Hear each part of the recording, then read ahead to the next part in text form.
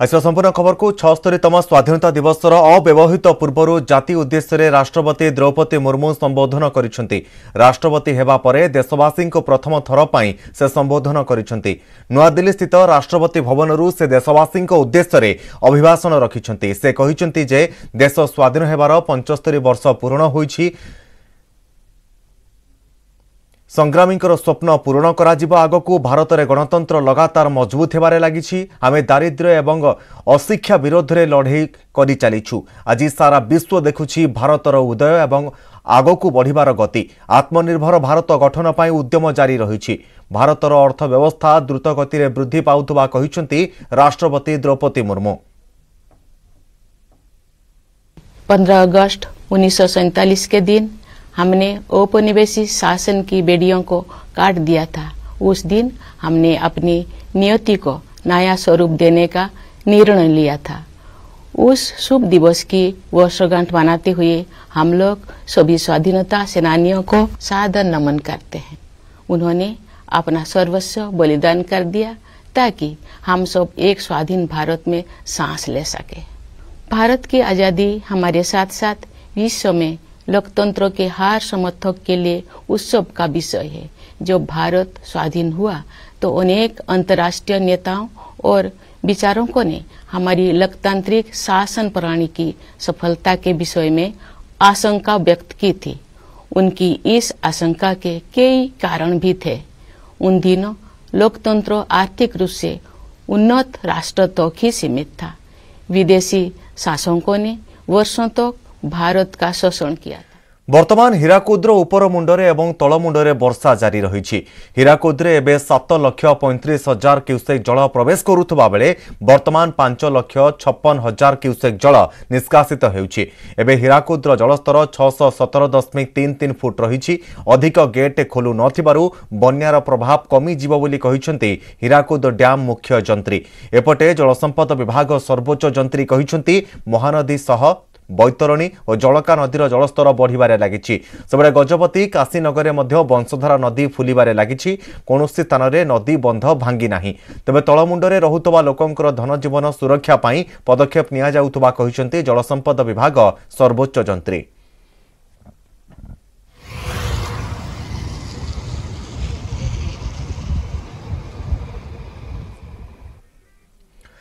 বঙ্গোপসাগর উপরে সৃষ্ট লঘুচাপ এবে সক্রিয় অবপাতের পরিণত হয়ে সারিছে। এ গত ছ ঘণ্টার পশ্চিম উত্তর পশ্চিম দিগরে ঘণ্টা প্রতি পঁচিশ কিলোমিটর বেগরে গতি করুছি আজ সন্ধ্যা পাঁচটা তিরিশ সুদ্ধা ওড়শার কেন্দুঝরঠার উত্তর উত্তর পূর্ব দিগরে সতুরি কিলোমিটর দূরে কেন্দ্রীভূত অবপাত এর প্রভাবে গত চব্বিশ ঘণ্টা মধ্যে মৌসুমী অত্যধিক সক্রিয় হয়েছে ফলরে রাজ্যের স্বাভাবিক বর্ষা এগার দশমিক পাঁচ মিলিমিটর তুলনায় চৌবন দশমিক ন মিলিমিটর সহ তিনশহ সতস্তরি প্রতিশত অধিক রেকর্ড ରେକର୍ଡ ହୋଇଛି ରାଜ୍ୟରେ ତିନିଶହ ସତସ୍ତରୀ ପ୍ରତିଶତ ଅଧିକ ବର୍ଷା ରେକର୍ଡ ହୋଇଛି। ସେହିପରି ଜଗତସିଂହପୁର ଜିଲ୍ଲାରେ ସର୍ବାଧିକ ହାରାହାରି ବର୍ଷା ଶହେ ଅଠର ଦଶମିକ ପାଞ୍ଚ ମିଲିମିଟର ସ୍ୱାଭାବିକ ବର୍ଷାଠାରୁ ଛଅ ଦଶମିକ ନଅ ମିଲିମିଟର ତୁଳନାରେ ଏକ ହଜାର ଛଅଶହ ଅଠର ପ୍ରତିଶତ ଅଧିକ ହୋଇଛି।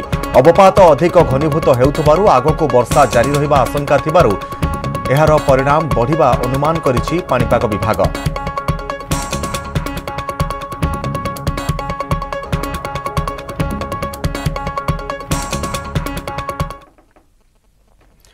ସାରା ରାଜ୍ୟରେ ପ୍ରବଳ ବର୍ଷା। ସୁଦୃଶ୍ୟ ଲଘୁଚାପ ଅବପାତର ରୂପ ନେଇସାରିଛି। ଫଳରେ ଆହୁରି ଚବିଶ ଘଣ୍ଟା ପ୍ରବଳ ବର୍ଷା ହେବ। ତେଣୁ ଅତି ପ୍ରବଳ ବର୍ଷା ନେଇ ପଶ୍ଚିମ ଓଡ଼ିଶାର ଏଗାରଟି ଜିଲ୍ଲାକୁ ରେଡ୍ ୱାର୍ଣ୍ଣିଂ ଜାରି କରାଯାଇଥିବା ବେଳେ ଅନ୍ୟ ଉଣେଇଶଟି ଜିଲ୍ଲାକୁ ଅରେଞ୍ଜ ୱାର୍ଣ୍ଣିଂ ଜାରି ହୋଇଛି। ପୁରା ତିରିଶ ଜିଲ୍ଲା ଏବେ ଆଲର୍ଟରେ। ସେପଟେ ଆସନ୍ତା ଅଠରରୁ ଉଣେଇଶ ଭିତରେ ଆଉ ଏକ ଲଘୁଚାପ ଆସୁଛି। ଯଦି ଏହାର ପ୍ରଭାବରେ ଲଗାଣ ବର୍ଷା ହୁଏ ତାହେଲେ ଚାଷ ପ୍ରତି ବିପଦ ରହିଛି ବୋଲି କହିଛନ୍ତି ବିଶେଷଜ୍ଞ।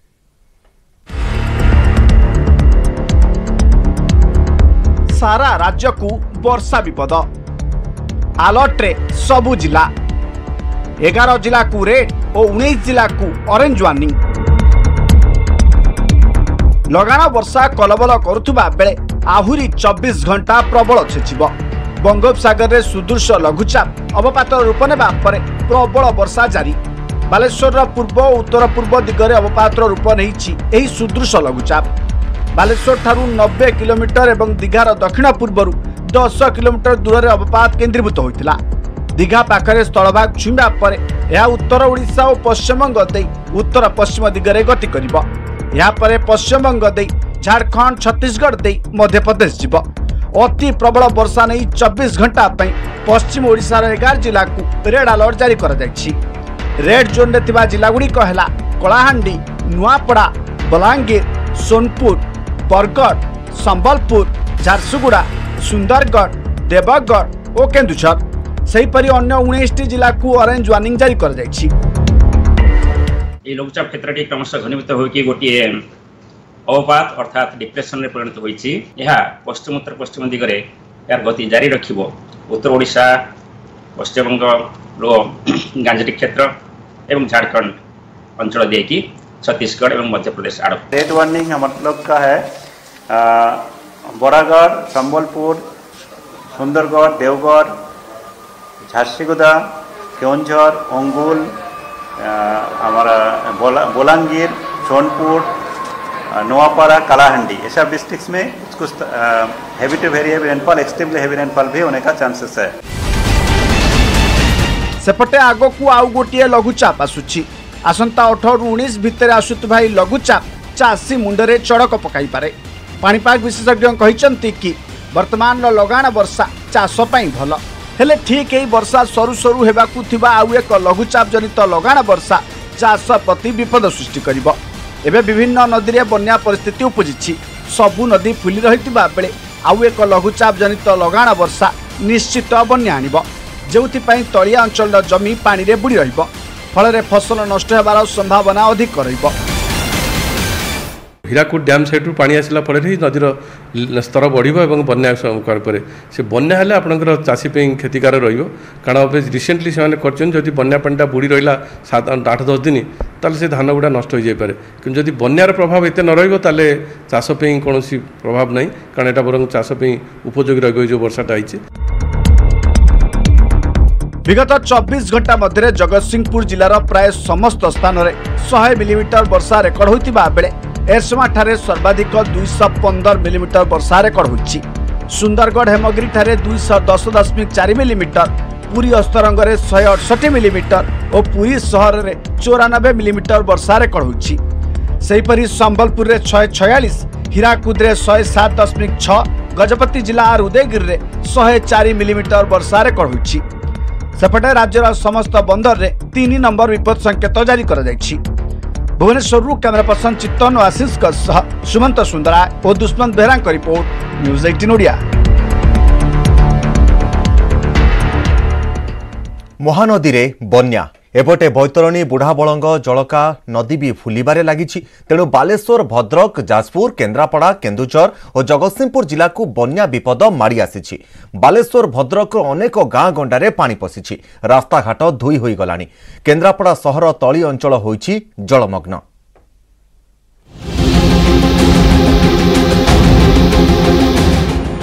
ମହାନଦୀ। ଏପଟେ ବାଲେଶ୍ୱର ଜିଲ୍ଲା ପାଇଁ ବିପଦ ସାଜିଛି ଜଳକା ବୁଢ଼ାବଳଙ୍ଗ ଓ ସୁବର୍ଣ୍ଣରେଖା। ମଥାନୀଠାରେ ଜଳକା ନଦୀ ବିପଦ ସଂକେତର ବହୁ ଉପରେ ହେଉଛି ପ୍ରବାହିତ। ପାଣି ପଶିବା ଭୟରେ ଆଖପାଖ ଗାଁ ଲୋକଙ୍କ ଆଖିରୁ ହଜି ଯାଇଛି ନିଦ।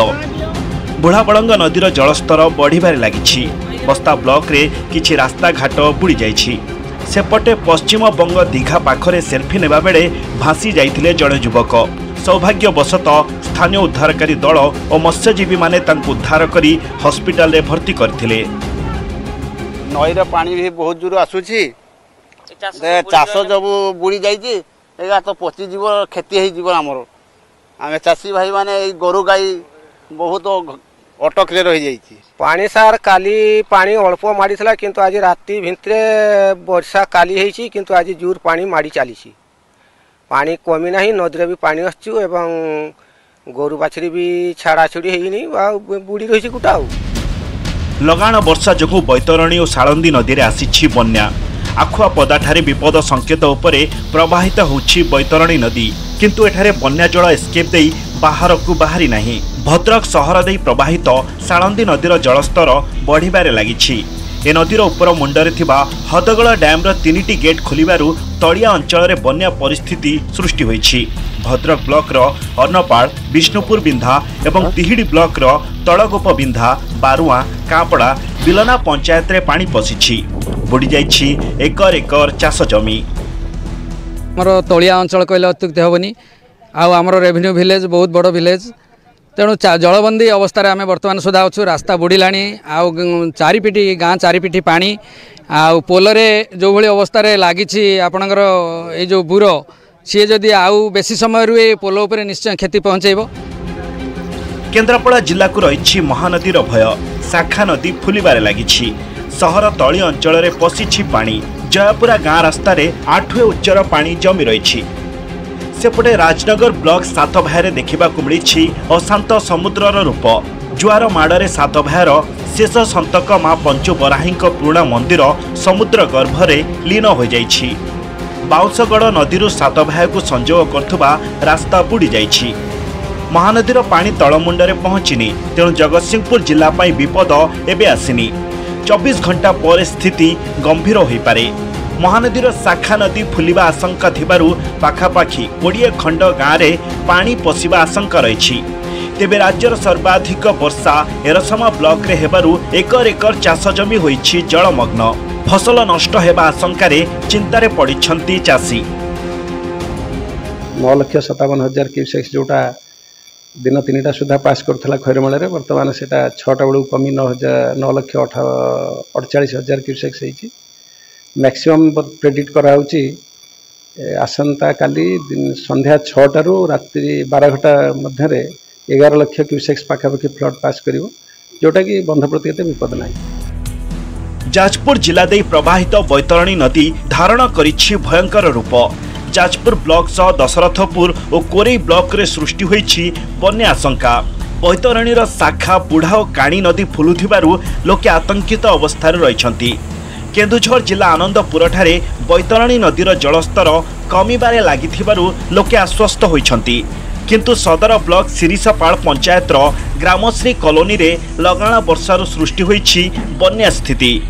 କଲୋନୀରୁ ଜଳ ନିଷ୍କାସନ ହୋଇ ନ ପାରିବାରୁ ଲୋକଙ୍କ ଘରେ ପାଣି ପଶିଛି। ଷାଠିଏ ପରିବାର ହୋଇଛନ୍ତି ହନ୍ତସନ୍ତ। Bureau report news eighteen Odia. Break ପରେ ସ୍ୱାଗତ। ହୀରାକୁଦ ଜଳଭଣ୍ଡାରର ଅଧିକ ଗେଟ୍ ଖୋଲିବା ନେଇ ସ୍ଥିତି ସମ୍ପର୍କରେ ଉତ୍ତରାଞ୍ଚଳ ଆର୍ଡିସି ସୁରେଶ ଚନ୍ଦ୍ର ଦଲାଇ ଏବଂ ହୀରାକୁଦ ଡ୍ୟାମ୍ର ମୁଖ୍ୟ ଯନ୍ତ୍ରୀ ଆନନ୍ଦ ଚନ୍ଦ୍ର ସାହୁଙ୍କ ସହିତ ସମୀକ୍ଷା ବୈଠକ ହୋଇଛି। ଏ ସମୀକ୍ଷା ବୈଠକରେ ହୀରାକୁଦ ଜଳଭଣ୍ଡାରର ଜଳ ପରିଚାଳନା ଉପରେ ଆଲୋଚନା କରାଯାଇଥିଲା। ବର୍ତ୍ତମାନ ହୀରାକୁଦ ଜଳଭଣ୍ଡାରର ଜଳପତନ ଛଅଶହ ଷୋହଳ ଦଶମିକ ନଅ ସାତ ଫୁଟ ରହିଛି। ପ୍ରତି ସେକେଣ୍ଡରେ ଜଳଭଣ୍ଡାର ଭିତରକୁ ଛଅ ଲକ୍ଷ ଏକଷଠି ହଜାର ଚାରିଶହ ବାଷଠି ଘନଫୁଟ ଜଳ ପ୍ରବେଶ କରୁଛି। ଚଉତିରିଶଟି ଗେଟ୍ ଓ ବିଭିନ୍ନ କେନାଲ ଦେଇ ପ୍ରତି ସେକେଣ୍ଡରେ ପାଞ୍ଚ ଲକ୍ଷ ଛପନ ହଜାର ପାଞ୍ଚଶହ ଏକାନବେ କ୍ୟୁସେକ୍ ଜଳ ନିଷ୍କାସିତ ହେଉଛି। ଏଥିପାଇଁ ମହାନଦୀର ତଳିଆ ଅଞ୍ଚଳ ଜିଲ୍ଲାପାଳମାନଙ୍କୁ ସତର୍କ ସୂଚନା ଜାରି ହୋଇଛି। ଉପରମୁଣ୍ଡରେ ଆହୁରି ବର୍ଷା ହେଲେ ଆଗକୁ ଗେଟ୍ ଖୋଲିବା ନିଷ୍ପତ୍ତି ନିଆଯାଇପାରେ ବୋଲି ଆର୍ଡିସି କହିଛନ୍ତି। ସେପଟେ ହୀରାକୁଦ ଡ୍ୟାମ୍ର ଅଧିକ ଗେଟ୍ ଖୋଲିବା ନେଇ ଛତିଶଗଡ଼ ଅନୁରୋଧ କରୁଛି। ଛତିଶଗଡ଼ରେ ମଧ୍ୟ ଅଧିକ ବର୍ଷା ଯୋଗୁଁ ବନ୍ୟା ହେଲାଣି। ରୁଲ୍ କର୍ଭ ଅନୁସାରେ ହୀରାକୁଦ ଜଳଭଣ୍ଡାରର ଜଳ ପରିଚାଳନା କରାଯାଉଛି। ବର୍ତ୍ତମାନ ଚଉତିରିଶଟି ଗେଟ୍ରେ ଜଳ ନିଷ୍କାସନ ଜାରି ରହିବା ସହ ଆଗକୁ ଉପରମୁଣ୍ଡର ସ୍ଥିତି ଦେଖି ଗେଟ୍ ଖୋଲାଯାଇପାରେ ବୋଲି ହୀରାକୁଦ ମୁଖ୍ୟ ଯନ୍ତ୍ରୀ ଆନନ୍ଦ ଚନ୍ଦ୍ର ସାହୁ କହିଛନ୍ତି। ଯେହେତୁ ଆମର ସରକାର ସମସ୍ତ ନଦୀବନ୍ଧକୁ ରେଜିଷ୍ଟ୍ରେସନ କରିଛନ୍ତି ତେଣୁ ଏଇ ଯେଉଁ ନଅ ଲକ୍ଷ ପଚାଶ କ୍ୟୁସେକ୍ ଖରାବେଳେ ପାସ୍ କରି ସେଇଟା ବିଶେଷ କିଛି ତଳମୁଣ୍ଡରେ ପ୍ରଭାବ ପକାଇବନି। ବର୍ତ୍ତମାନ ତଳମୁଣ୍ଡରେ ବର୍ଷାର ପ୍ରଭାବ କମିଯାଇଛି। ଯଦି ଉପରମୁଣ୍ଡରେ ଅଧିକା ବର୍ଷା ହୁଏ ତାହେଲେ ଆମେ ଅଧିକା ଗେଟ୍ ଖୋଲିବୁ। ଗେଟ୍ ଖୋଲିଲେ ମଧ୍ୟ ତଳମୁଣ୍ଡରେ ବିଶେଷ ଅସୁବିଧା କରିବନି। ଆମେ ବାଲାନ୍ସ କରିକି ତଳମୁଣ୍ଡ ଏବଂ ଉପରମୁଣ୍ଡ ବାଲାନ୍ସ କରିକି ତା ସହିତ ଆମର ଯେଉଁ ହୀରାକୁଦ ରିଜର୍ଭର ଯେଉଁ ରୁଲ୍ କର୍ଭ ଅଛି ରୁଲ୍ କର୍ଭ ଫଲୋ କରିକି ପାଣି ଛାଡ଼ିବା ବ୍ୟବସ୍ଥା କରିବୁ। ଏଟା ହୀରାକୁଦ ଗେଟ୍ ଗୁଡ଼ାକ ଅଧିକ ଖୋଲିବା ଦ୍ୱାରା ତାଙ୍କ ତ- ତାର ଯେଉଁ ଇଫେକ୍ଟ ଉପରେ ପ୍ରଭାବ ପଡ଼ିବ ନାହିଁ। ବର୍ତ୍ତମାନ ସୁଦ୍ଧା ଆମେ ଯେତିକି ସ୍ଥିର କରୁଛୁ ଯେତିକି ଇନଫ୍ଲୋ ଆଉଟଫ୍ଲୋ ଅଛି। ତଳମୁଣ୍ଡର ଅବସ୍ଥା ଏବଂ ଉପରମୁଣ୍ଡର ପରିସ୍ଥିତି ଦେଖିକରି ଏବେ ଆମେ କଣ୍ଟିନ୍ୟୁ କରିବୁ ଚଉତିରିଶଟା ଗେଟ୍ ଆଉ ରୁଲ୍ ରୁଲ୍ କର୍ଭର ପୁରା ସମ୍ପୂର୍ଣ୍ଣ କରିବୁ ନା ମଡ଼ିଫିକେସନ୍ ଦରକାର ହେଉଛି। ଉପରମୁଣ୍ଡରେ ବନ୍ୟାକୁ ନେଇ ଏବେ ତଳିଆ ଅଞ୍ଚଳରେ କୋକୁଆ ଭୟ। ପୁରୀ ଜିଲ୍ଲାରେ ଚଳିତ ବର୍ଷ ଗୋପ ଅସ୍ତରଙ୍ଗ ନିମାପଡ଼ା କଣାସ ଅଞ୍ଚଳରେ ବନ୍ୟା ଆଶଙ୍କାକୁ ନେଇ ଏବେ ଚିନ୍ତାରେ ଅଞ୍ଚଳବାସୀ। ସେପଟେ ଏସ୍ଆର୍ସିଙ୍କର ନିର୍ଦ୍ଦେଶ ଅନୁଯାୟୀ ପ୍ରସ୍ତୁତ ରହିଛି ଜିଲ୍ଲା ପ୍ରଶାସନ। ବ୍ୟାରେଜ୍ର ଜଳସ୍ତର ଉପରେ ନଜର ରଖାଯାଇଥିବା ବେଳେ ଦୟା ରତ୍ନଚିରା କୁଶଭଦ୍ରା ଲୁଣା ଭାର୍ଗବୀ ଆଦି ଡିଭିଜନର ଅଧିକାରୀ ଓ ବିଡିଓ ତହସିଲଦାରଙ୍କ ସହ ପୁରୀ ଜିଲ୍ଲାପାଳ ବୈଠକ କରିଛନ୍ତି।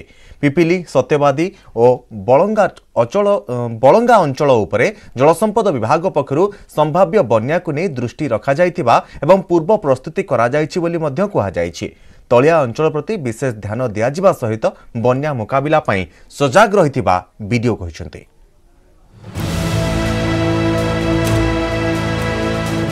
ତିନି ଦିନ ଧରି ଲଗାଣ ବର୍ଷା ପରେ ପୁରୀ ଜିଲ୍ଲାର ତଳିଆ ଅଞ୍ଚଳରେ ସୃଷ୍ଟି ହେଲାଣି ବନ୍ୟା ଆଶଙ୍କା। ନଦୀର ଜଳସ୍ତରରେ ଏବେ ସେତେଟା ବୃଦ୍ଧି ହୋଇନାହିଁ। ତେବେ ଦୁଇ ଦିନ ଭିତରେ ଜଳସ୍ତର ବୃଦ୍ଧି ପାଇବ। ଆଉ ତାହାକୁ ନେଇ ପ୍ରସ୍ତୁତି ଆରମ୍ଭ କରିଛି ପୁରୀ ଜିଲ୍ଲା ପ୍ରଶାସନ। ପ୍ରତିବର୍ଷ ବନ୍ୟାକୁ ନେଇ ଆତଙ୍କରେ ଗୋପ ଅସ୍ତରଙ୍ଗ ନିମାପଡ଼ା ଓ କଣାସ ଅଞ୍ଚଳବାସୀ। ଦୟା ରତ୍ନଚିରା କୁଶଭଦ୍ରା ଲୁଣା ଭାର୍ଗବୀ ଆଦି ଡିଭିଜନର ଅଧିକାରୀ ଓ ବିଡିଓଙ୍କ ସହିତ ସମୀକ୍ଷା ବୈଠକ କରିଛନ୍ତି ଜିଲ୍ଲାପାଳ। ଜିଲ୍ଲାରେ ଅଗ୍ନିଶମ ସେବାକୁ ପ୍ରସ୍ତୁତ ରଖାଯାଇଥିବା ବେଳେ ଜିଲ୍ଲାକୁ ଆସିବେ ଓଡ୍ରାଫ୍ ଓ ଏନ୍ଡିଆର୍ଏଫ୍ ଟିମ୍। କିଭଳି ଲୋକଙ୍କୁ ସ୍ଥାନାନ୍ତର କରାଯିବ ବିପଦ ସଂକୁଳ ନଦୀବନ୍ଧ ଉପରେ ନଜର ରଖାଯାଇଥିବା ଜିଲ୍ଲାପାଳ କହିଛନ୍ତି। मैं रेगुलरली एसआरसी ऑफ़िस रू और डी अपडेट्स नज़र रखू और सब डिपार्टमेंट जमी इरीगेशन डिपार्टमेंट सब रिवर वाटर लेवल सब barrage pertinent barrage water level सब हमारा नज़र रोचे मोस्टली कणास ब्लॉक रही जो चिल्का पाखे जो अं-, अंचल रोचे से ही जगह प्राय सब वाटर लगिंग से ही हुए। तो हमें वनरेबिलिटी एनालिसीस जहाँ करी से अनुसार ही हमें हमारा प्लान करूँ और एक्जिक्यूट करूँ হীরাকুদ চৌত্রিশটি গেট খোলা ফলরে নদীগুড়িকরে বর্ষা জল প্রবাহ বড়ি চালিছি পিপিলি সত্যবাদী ও বলঙ্গ জলসম্পদ বিভাগ পক্ষ সম্ভাব্য বন্যাকে দৃষ্টি রাখি পূর্ব প্রস্তুতি করা যাইছি ভার্গবী নদীবন্ধ যেউঠারে দুর্বল রয়েছে সেই স্থানগুড়িকরে বল্লা বালিবস্তা মহজুদ রাখিছে প্রশাসন পিপিলি বলঙ্গা সত্যবাদী জলসেচন বিভাগ দ্বারা বিভিন্ন স্থানরে বালিবস্তা প্রস্তুত রখাযাইছে ସେପଟେ କାକଟପୁର ଅସ୍ତରଙ୍ଗ ଅଞ୍ଚଳରେ ସମ୍ଭାବ୍ୟ ବନ୍ୟାକୁ ଦୃଷ୍ଟିରେ ରଖି ପ୍ରଶାସନ ପକ୍ଷରୁ ସ୍ୱତନ୍ତ୍ର ନଜର ଦିଆଯାଇଥିବା ବେଳେ ତଳିଆ ଅଞ୍ଚଳ ପ୍ରତି ବିଶେଷ ଧ୍ୟାନ ଦିଆଯିବା ସହିତ ବନ୍ୟା ମୁକାବିଲା ପାଇଁ ସଜାଗ ରହିଥିବା କାକଟପୁର ଓ ଅସ୍ତରଙ୍ଗ ବିଡିଓ କହିଛନ୍ତି ସେହିପରି ନଦୀବନ୍ଧ ପରିଦର୍ଶନ ସହ ସମ୍ଭାବ୍ୟ ବନ୍ୟା ସ୍ଥିତିର ସମୀକ୍ଷା କରିଛନ୍ତି ବିଧାୟକ ରୁଦ୍ର ପ୍ରତାପ ମହାରଥୀ। ନଦୀକୂଳିଆ ଗ୍ରାମବାସୀମାନେ ବିଚଳିତ ନ ହେବା ପାଇଁ ବିଧାୟକ ନିବେଦନ କରିଛନ୍ତି। ଯଦି କୌଣସି ଜାଗାରେ କୌଣସି ଫ୍ଲଡ୍ ହେଲା ସେଥିପାଇଁ ଆମେ ପ୍ରସ୍ତୁତ ଅଛୁ। ଏହାଛଡ଼ା ଆମ ଡି ଜି ସାହେବଙ୍କ ନିର୍ଦ୍ଦେଶ କ୍ରମେ ଗଭର୍ଣ୍ଣମେଣ୍ଟରୁ ଆମର ଅର୍ଡ଼ର ଅନୁସାରେ ଆମର ଚାରିଟା team fire service team Brahmapur ଏଠିକି ଆସୁଛି। ସେମାନେ ମଧ୍ୟ ଆମ ଏଇ ଯେଉଁ ଫ୍ଲଡ୍ ଏରିଆ ପାଇଁ ଆମକୁ ସାହାଯ୍ୟ କରିବା ପାଇଁ ଆମର ଚାରିଟା ଏକ୍ସଟ୍ରା ଟିମ୍ ଆସିଛନ୍ତି। ସେ ମଧ୍ୟ ଆମ ଏଇ ଫ୍ଲଡ୍ କାର୍ଯ୍ୟରେ ନିୟୋଜିତ ହେବେ। ଯେଉଁ ଯେଉଁ ଜାଗାରେ ଆମର ଭନରେବୁଲ୍ ପଏଣ୍ଟ ଅଛି ସେ ଜାଗା ଗୁଡ଼ାକୁ ମାର୍କ କରିକି ସେ ଜାଗାକୁ ଆମେ ଫାର୍ଷ୍ଟରେ ଅନୁଧ୍ୟାନ କରିଦେଇଛୁ। ଏବଂ ତା ପାଇଁ ପ୍ରସ୍ତୁତି ସ୍ୱରୂପ ଯେଉଁ ଯେଉଁ ଜାଗାରେ ଆମେ ବାଲି ଷ୍ଟକ୍ କରିଥିଲୁ ଅଖା ଷ୍ଟକ୍ କରିଥିଲୁ ସେଠି ଏବଂ ତାର ପ୍ରିକସନ୍ ମେଜର ଅନୁଯାୟୀ ଯାହା ଯାହା ଆବଶ୍ୟକ ସେଇ ଜିନିଷକୁ ବି ପ୍ରସ୍ତୁତ ହେଇକି ଅଛୁ ଫଳସ୍ୱରୂପ ଆମର ଯାହା ପଲିଥିନ୍ ବଲ୍ହା ଯାହା ଯାହା ଦରକାର ତା ପାଇଁ ବି ପ୍ରସ୍ତୁତ ହେଇସାରିଛୁ ଗତ ଦଶ ବର୍ଷ ଭିତରେ ପୁରୀ ଜିଲ୍ଲା ଅନେକ ଥର ବନ୍ୟା ଦେଖିଛି। ସତ୍ୟବାଦୀ ବ୍ରହ୍ମଗିରି ଗୋପ ଓ କଣାସ ଅଞ୍ଚଳରେ ଦୁର୍ବଳ ନଦୀବନ୍ଧ ପ୍ରଶାସନ ଚିନ୍ତା ବଢ଼ାଇଛି। ପିପିଲିରୁ ଦେବାଶିଷ ସିଂ ରାୟନ ଓ ପୁରୀରୁ କ୍ୟାମେରାମ୍ୟାନ୍ ଅମରେନ୍ଦ୍ର ମିଶ୍ରଙ୍କ ସହ ଅକ୍ଷୟ ମିଶ୍ର ନ୍ୟୁଜ୍ ଏଟିନ୍ ଓଡ଼ିଆ।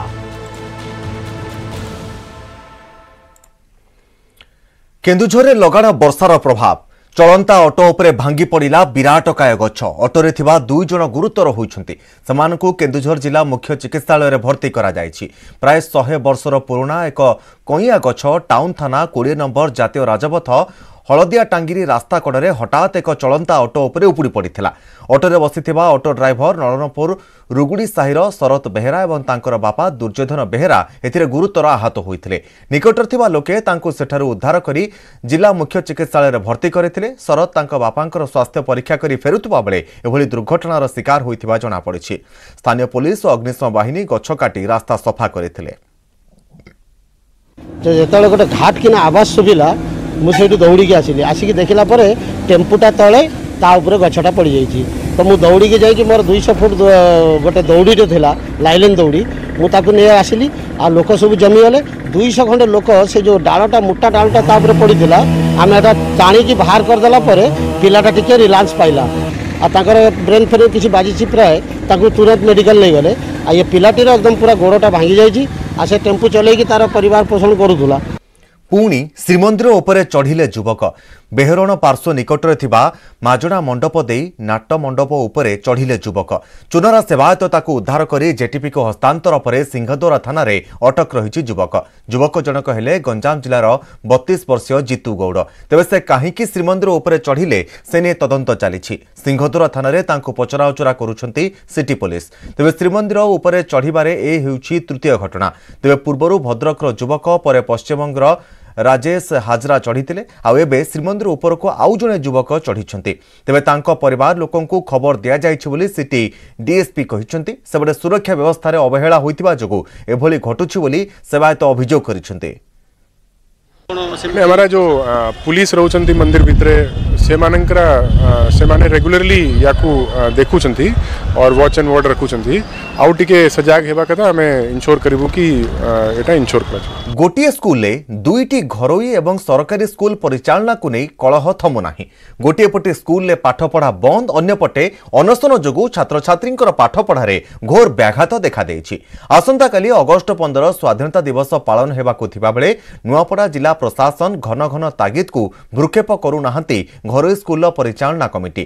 କୁନି କୁନି ପିଲାମାନଙ୍କୁ ଟେଣ୍ଟରେ ବସାଇ ବିଦ୍ୟାଳୟ ବାହାରେ ତାଲା ପକାଇ ଅନଶନ କରୁଥିବାର ଦୃଶ୍ୟଟି ହେଉଛି ନୂଆପଡ଼ା ଜିଲ୍ଲା ଖଡ଼ିଆଳ ମିଶନ ଘରୋଇ ସ୍କୁଲର ଗତ ଦଶ ତାରିଖଠାରୁ ମିଶନ ଘରୋଇ ପ୍ରାଥମିକ ବିଦ୍ୟାଳୟର ସ୍କୁଲ କମିଟି ଶିକ୍ଷକ ଶିକ୍ଷୟିତ୍ରୀ ଅନଶନରେ ବସି ରହିଛନ୍ତି। ସେମାନଙ୍କର ଦାବି ହେଉଛି ଯେ ଗତ ଦୁଇହଜାର ଆଠ ମସିହାରୁ ଖଡ଼ିଆଳ ମିଶନ ହସ୍ପିଟାଲର ସ୍ଥାନୀୟ ପିଲାମାନଙ୍କୁ ମାଗଣାରେ ଶିକ୍ଷାଦାନ ପାଇଁ ଘରୋଇ ଭାବରେ ପ୍ରଥମରୁ ପଞ୍ଚମ ଶ୍ରେଣୀ ଯାଏଁ ପ୍ରାଥମିକ ବିଦ୍ୟାଳୟ ଆରମ୍ଭ କରିଥିଲେ। ତାହା ଏବେ ମଧ୍ୟ ଘରୋଇ ମିଶନ ହସ୍ପିଟାଲ ନାଁରେ ବିଦ୍ୟାଳୟ ଚାଲୁଅଛି। ଏହି ଘରୋଇ ସ୍କୁଲ ଜାଗାରେ ସରକାରୀ ସ୍କୁଲ ପ୍ରଥମେ ଷଷ୍ଠ ଓ ସପ୍ତମ ଯାଏଁ ଖୋଲିଥିଲେ ପରେ ଅଷ୍ଟମ ଶ୍ରେଣୀ ଯାଏଁ ସରକାରୀ ଭାବରେ ଉତ୍କଳ ଉଚ୍ଚ ପ୍ରାଥମିକ ବିଦ୍ୟାଳୟ ଆରମ୍ଭ କରିଥିଲେ। ଅନ୍ୟ ଦୁଇ ଗୋଟି ପ୍ରାଥମିକ ବିଦ୍ୟାଳୟର ପିଲାମାନଙ୍କୁ ମିଶ୍ରଣ କରି ମିଶନ ଘରୋଇ ସ୍କୁଲ ଜାଗାରେ ପୁଣି ଥରେ ପ୍ରଥମରୁ ଅଷ୍ଟମ ଶ୍ରେଣୀ ଯାଏଁ ଏମି ସ୍କୁଲ ଖୋଲିଛନ୍ତି ସରକାର। ଆଉ ଏହାକୁ ଘରୋଇ ମିଶନ ପ୍ରାଥମିକ ବିଦ୍ୟାଳୟର ଶିକ୍ଷକ ଶିକ୍ଷୟିତ୍ରୀ ତଥା ସ୍କୁଲ କମିଟି ବିରୋଧ କରି ଅନିର୍ଦ୍ଦିଷ୍ଟ ସମୟ ପାଇଁ ସ୍କୁଲ ବାହାରେ ତାଲା ପକାଇ ଆନ୍ଦୋଳନ ଚଳାଇଛନ୍ତି। ପ୍ରଶାସନ ସହିତ ଆଲୋଚନା ବିଫଳ ପରେ ସରକାରୀ ସ୍କୁଲ ପ୍ରଧାନ ଶିକ୍ଷୟିତ୍ରୀ ଖଡ଼ିଆଳ ଥାନାର ଦ୍ୱାରସ୍ଥ ହୋଇଛନ୍ତି। ଏନେଇ ଖଡ଼ିଆଳ ବିଡିଓ ନୂଆପଡ଼ା ଏବିଡିଓଙ୍କୁ ନୂଆପଡ଼ା ଜିଲ୍ଲାପାଳଙ୍କୁ ଅବଗତ କରାଯିବ ବୋଲି କହିଛନ୍ତି।